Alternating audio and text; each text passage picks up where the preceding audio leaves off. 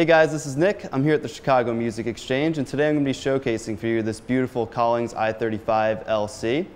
It has a medium fat C-shaped neck, which is great for jazz playing, rock, blues, or anything like that. Double cutaway that helps you really get into the higher end frets and kind of make some pretty chords there if you're into that sort of thing.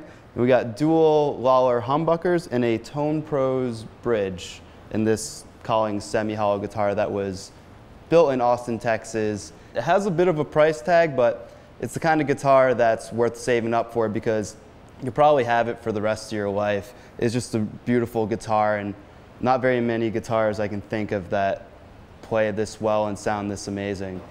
Uh, today I'm going to be playing out of what is my was currently my favorite reverb pedal on the market. It's Blackout Effector's Cadavernous Reverb, and we're playing out of a Maz 38 Senior uh, 1 by 12 amp. Sounds great.